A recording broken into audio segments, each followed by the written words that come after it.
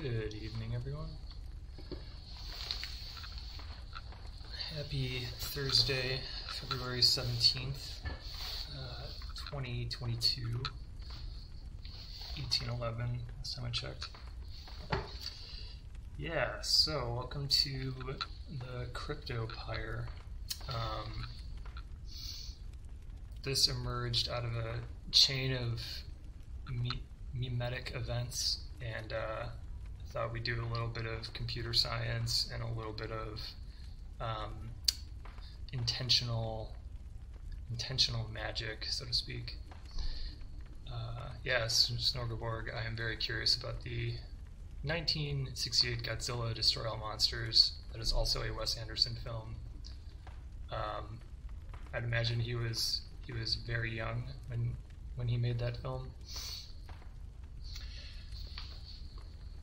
All right, so we've got a pretty short agenda tonight. I want to keep it, try to keep it around an hour. We'll see, we'll see how how burning the crypto bud NFT goes. Um, but first up, I want to talk about MD5 hashes and how they're used in cryptography. Uh, specifically, my experience with them and how it relates to um, Web 2 development with databases. And then uh, that'd be fun to do a little bit of um, group praxis and learn how to burn the NFT together. And then I'll fill in y'all with a little bit of the backstory on that. And then uh, after that, we are going to do a burning ritual. So if you have any thoughts or troubling mental demons, we shall say, that you want to release, um, you're invited to MD5 those yourself, send me the hash, and then we'll burn them together and sort of cathartically release. So it's a pretty weird stream. Um, computer science plus memes plus crypto plus I don't even know new age stuff. All right, so I guess to start, um, we're just going to talk about MD5 hashes um, and what hashes are. So a hash is used, it's one of the fundamental building blocks of cryptography. So I've got this crazy Rube Goldberg um, Max MSP patch here that we're going to be working in tonight. Um, Max MSP is a programming environment. It's visual. You can mash up text and video and code. Um, in this case, we've got a instance of Node.js running, so Max can support that. So there's a bunch of technical stuff underneath this, but I'm going to try to keep this sort of high level, um, as high level as I can about the crypto stuff. So crypto is obviously a big um, buzzword these days. Uh, of course, for Bitcoin and Ethereum and NFTs and cryptocurrency. But before cryptocurrency, there was cryptography and um, definition of cryptography is the art of writing or solving codes. So there's a long and storied history with this, um, often used warfare, uh, World War II. There are some really famous types of ciphers that were used to encode military messages. Um, so there's that's a whole rabbit hole you can get lost in. But um, as far as the internet goes and web goes, uh, cryptography is used every day by everyone. Um, it's one of those layers of technology that's totally ubiquitous, and it's essentially vital to how everything works and how everything is connected and fits together. So, what? Back to the question: What's a hash? A hash is a way of taking a value, a string, a word, an email, a password, something that's important to you, conducting some operations on it, and transforming it into something else. Hashes are one way, which means that once something's been hashed, you can't unhash it, um, which is very useful. So here we're using an MD5 hash. Um, I guess uh, I'll just look this up really quick because I don't actually know the full etymology or history um, to this one. So it's a type of algorithm um, developed in 91. Uh, I guess there were some earlier ones. Um, a lot of this is over my head. I'm not a cryptographer, but this has been necessary for me to learn uh, just through my career. So we're using an MD5 hashing algorithm. Just know that there's different types of hashing algorithms. Um, so if you pop open our code again, and uh, let me know how the if this is too small, if I need to zoom anything in. Um, I just got a new monitor, so things are a little different now. But yeah, so in our in our JavaScript file, we're requiring um, the crypto module, and then uh, we're doing a bunch of stuff to hook it up with Max MaxMSP, and we've got some functions in here. So this is all that's going on underneath the hood. And when we feed an arbitrary string in, um, we're going to generate a hash from it. So if we wanted to MD5 hash drink bang, uh, we get this result here, A9CB1BB321D 66B404190947212 FE0845. Yes, it was absolutely necessary that I read that entire thing. Um, we could change this to, you know, Godzilla.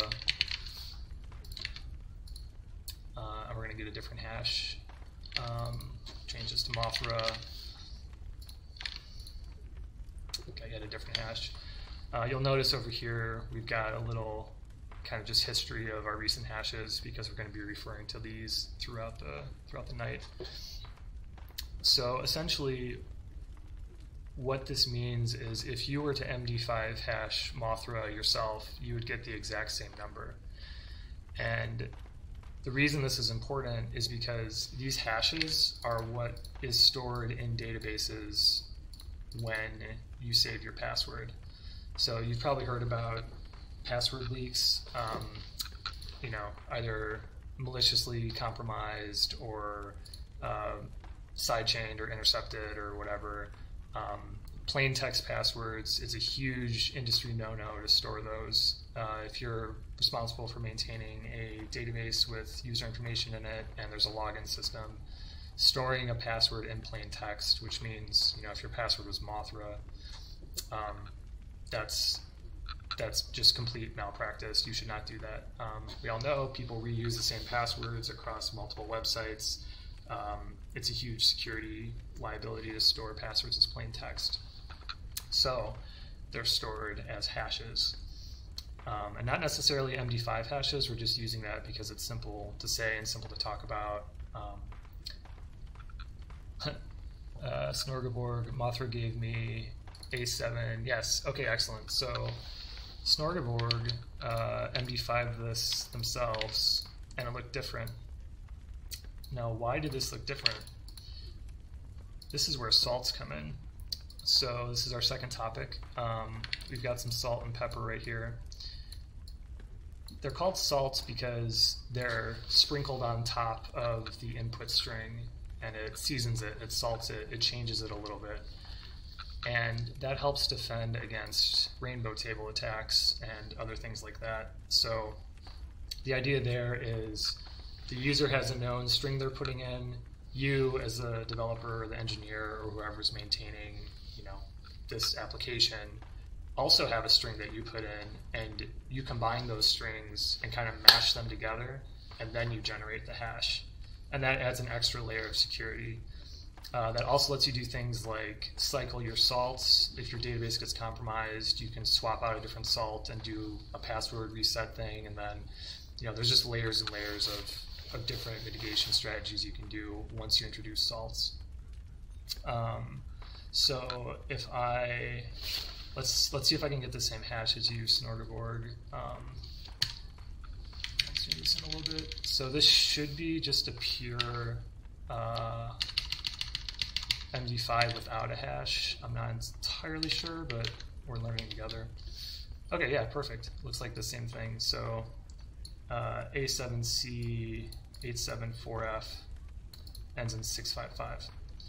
So pretty cool because not only did uh, Snorgaborg over there generate their own MD5 hash and share it with me, um, I don't even know what backend was used to generate this thing. Uh, they use um, this MD5 hash generator. Um, not sure what's on the back end of this, but what's cool is it doesn't matter because the MD5 hashing algorithm can be implemented in multiple programming languages. Here we have it running in Node. Uh, over here, I don't even know what this is. This is, I'm on a Mac right now. This is the MD5. Um, I think this came with OpenSSL. I don't even know what this is written in. But that's what's cool about it, is it doesn't matter what it was written in. It's always going to be the same thing, and that's why it's so useful. Same string goes in, same salt's used, you're always going to get the same hash at the end. So we're going to clear our buffer, and we'll say we're going to salt with, actually, uh, salting with salt is kind of confusing, so we'll say, uh, oh, I like garlic. Um, on production, it actually doesn't really matter what you use. Like we're using kind of funny words here, like garlic and pepper and bang. Um, you can have really long strings. You can have really short strings. Uh, just just adding a salt, no matter what the string is, is going to greatly increase the resilience of your system. So Mothra. Um, salted with garlic gives us 6.5 BDB, blah, blah, blah. If we salt it with pepper, we get 61A, 3FF, 0, blah, blah, blah. If we salt it with bang, we get 61A, ooh, looks the same.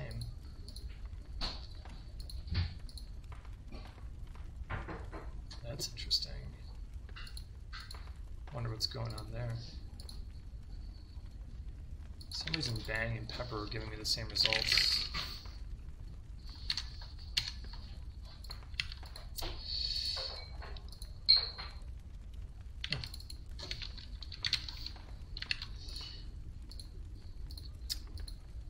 So, we've covered hashes, salts, um, different implementations of it. I had listed OpenSSL here. Um, why they're used, it increases security. Just a quick bonus, um, what is a rainbow table? Uh, a rainbow table is a essentially a database of just about every single possible hash and word combined that you can imagine. So imagine just taking the dictionary and running every single word in the dictionary through an MD5 checksum, and then just having a lookup table of aardvark is blah, apple is blah, bang is blah, and you have this gigantic database, and that can be used to uh, reverse engineer what someone's password is. Um, if you use a unique salt, you're immune to rainbow tables, but if you're not, um, this is why you know you see those lists of uh, you know the top 10 passwords people use um, like I don't know, God or money or whatever they are. They're kind of ridiculous. Um, that's why it's really important to use a secure password. All right, so um, that pretty much concludes the light MD5 hash uh, talk. Uh, we're doing pretty good on time. Um, if there's any questions about that, I'll be happy to try and answer them. And if not, we can move into trying to learn how to burn burn an NFT together. Um, so let me just switch things around a little bit.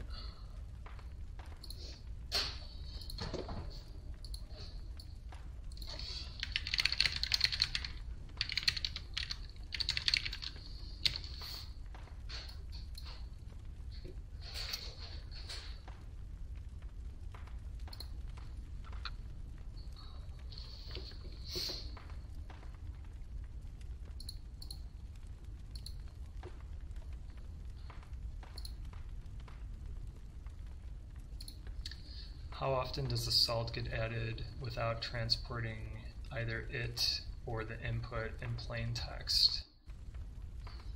Wait, how, how does the salt get added without transporting either it or the input in plain text? So that's one of the interesting things about it is you, you never actually know, right? You sign up for whatever Uber Eats or Facebook or LinkedIn. Um, you're just sort of trusting that the developers, that the team that built that site have implemented good password hygiene. So you really don't know, and that's kind of terrifying. Um, which is one of the reasons that I am optimistic and excited about Web3 and potential applications of the technology there because it might move us away from needing to worry about that as much. Um, you know, I, I, just got uh, one of those identity notification things today from one of my banks that said, you know, X piece of data of mine was compromised, and it's like, oh, like what what engineering, you know, oversight or old library or vector, like how, how did that happen? And I'll, I'll never know. So I can't answer your question. Um, it, it, totally depends on the platform. Uh, which kind of brings us to another kind of truism, which is don't roll your own crypto, um, meaning uh, don't don't try to roll don't try to engineer your own cryptographic library um, unless you're a cryptographer. Uh, if you're just a normal web engineer like myself, um, you you need to be using open source libraries to do that type of thing because there's so much computer science and mathematics that go into it that you're not going to be able to figure it out unless you you know devote your life to figuring it out.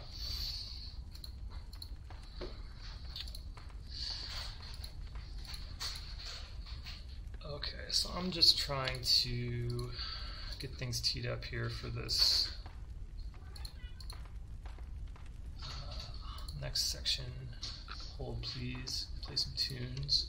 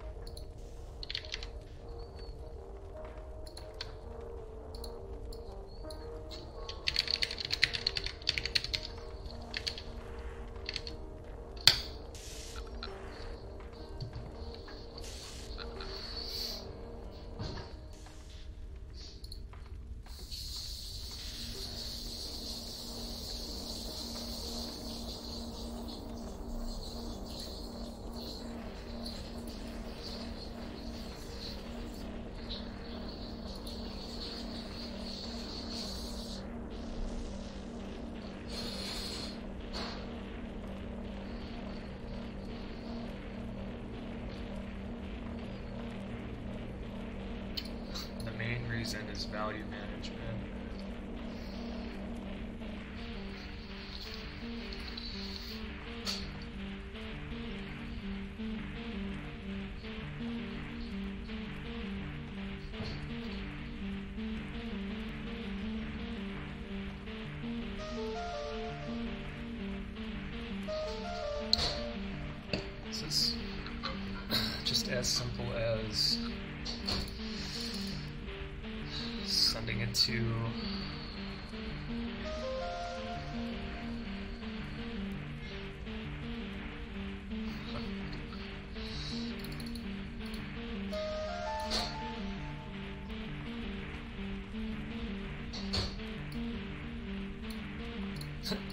It's just a it's just a user option it's just a in the web GUI I thought this was gonna be a whole like complicated computer science exercise Select NFT you like to burn the settings option and choose burn token.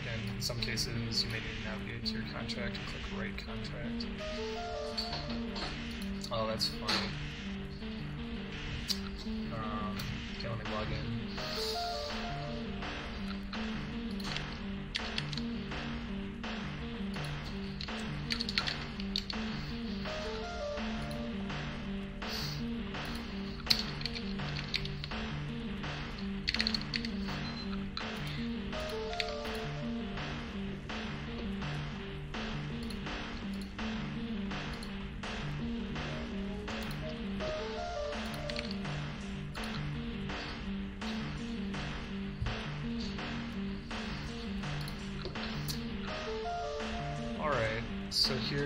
Here's our target. Um, this was a meme NFT uh, that we made.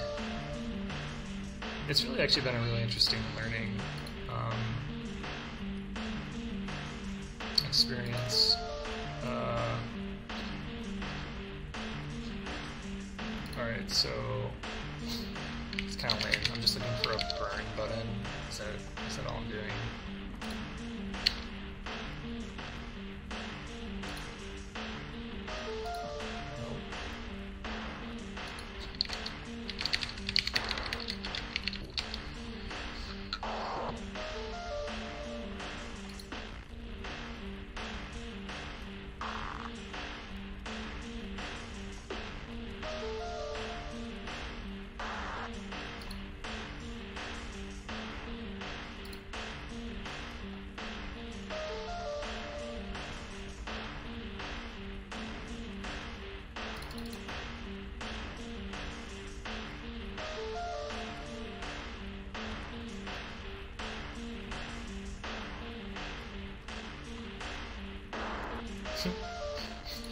Is an address to send unwanted NFTs.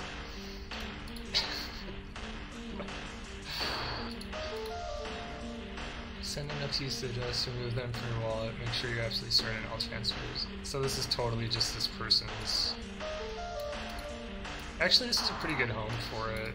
Um, yeah, and to let you all in on like the joke, I I was joking about deleting the NFT off the blockchain, which is of course impossible. Um, this kind of fun. This might be a good home for it.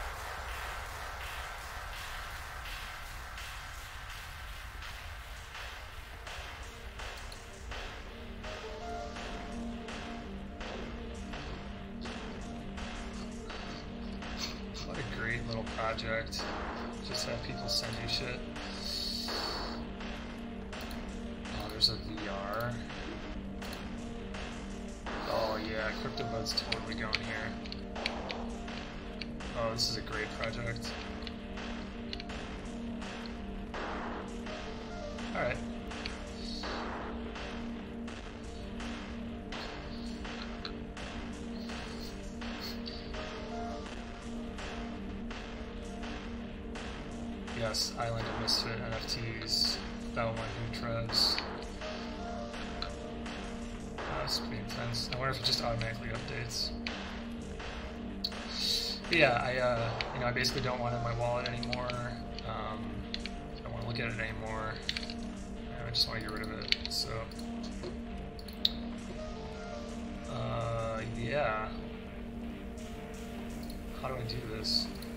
Can you make a new paper wallet and transfer it underneath the paper? Yeah, I could, but I don't know, I've been having like some weird allergy flare-ups lately, and I just worry, worry about the paper.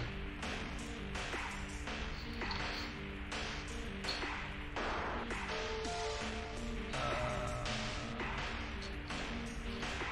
okay, how do you airdrop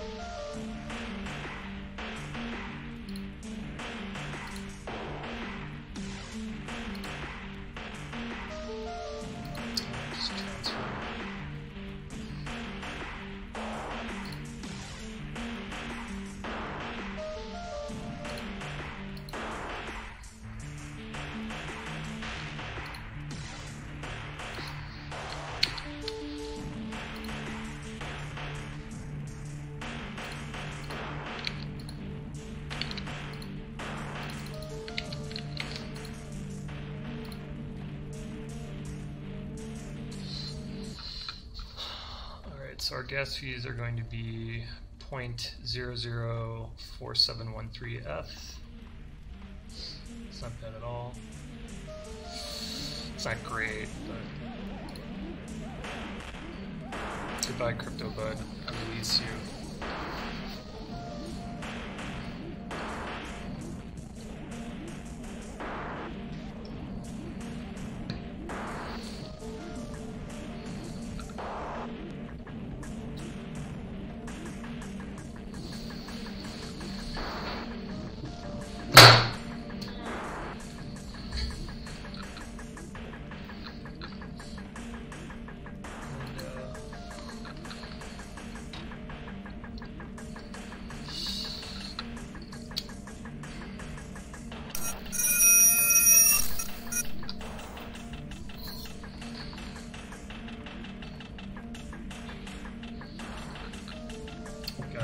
Got Santa Muerte now.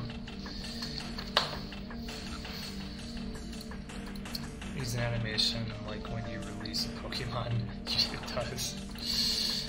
Um, Alright, we got a burn noise there. Okay. We did it. We did it. So you can see the transaction. Um, so of course the NFT still exists, but it, you know, it's kind of like when you um, throw something in the garbage can; it doesn't actually go away ever. So I wonder how quick this is. It's like instantaneous or not. All right, well we'll check back here later. What really matters is to make sure it's not in my wallet anymore. Hey, hey, it's gone. Wow, I feel, I feel so much lighter.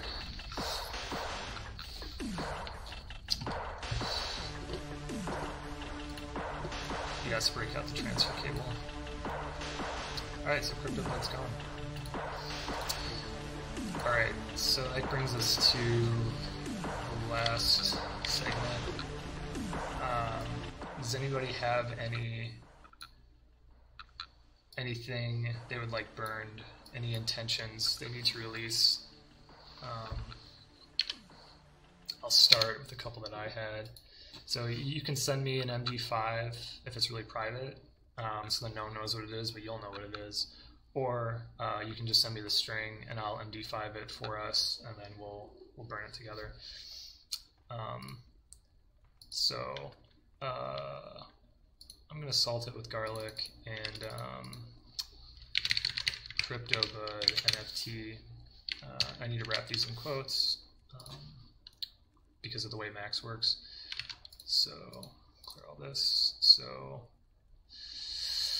all right, CryptoBud NFT loaded up. Here it is, uh, DBD 17. And, uh, the the muerte. Hit the button. It's gone. Alright, I also want to release, um, let's see, Burden of History. Let's, so we got another hash there.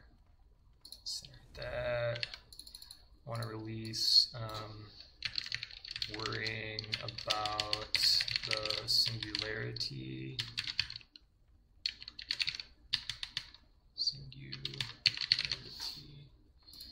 That needs to be salted with, with a bang. And uh, I think um, I think I'm pretty good. Anyone out there in chat have anything you want to burn? You want to release?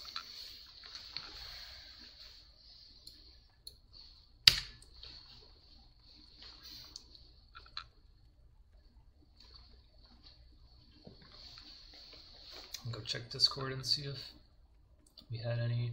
Ooh, Gear Lust. Yeah, that's a that's a powerful one. Gas acquisition syndrome is real. It's, we're gonna pepper that. Deer Lust. Okay, Snorgaborg, here's your um, here's your MD5 in case you want to do a IRL eating paper ritual on your own. But um, here we go. We're gonna burn it. Three, two, one. Into the fire.